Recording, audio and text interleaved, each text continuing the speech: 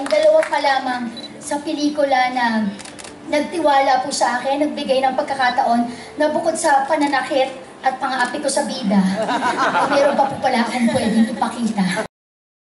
Uh, first time ko manominate, uh, tsaka manalo sa Gawad Urian. Mas mabuti dahil na-recognize po yung talent and sobrang grateful ako sa Urian dahil napansin po nila yun.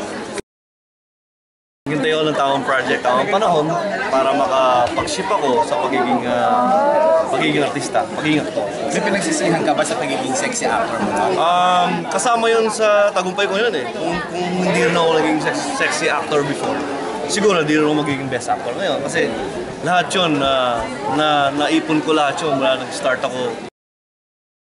Abala ko lang talaga umattend ngayon para rumampa.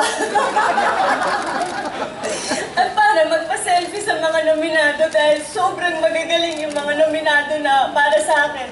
Gusto ko lang magkaroon ng, ng larawan kasama silang lahat.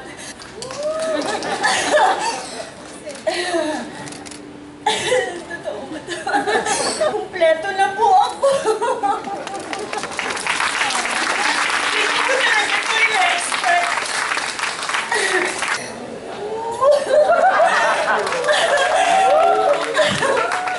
Maraming maraming salamat po. Maraming salamat. Lord, maraming salamat. Mahal ko po yung trabaho ko. At katulad po ng sabi ni Miss Dora Honor na mahalin mo lang ang trabaho mo. Na mahal ko ang trabaho ko. At mula po ng pagkabata, wala na po ako ibang pinangarap ko yung maging artista po. Maraming salamat.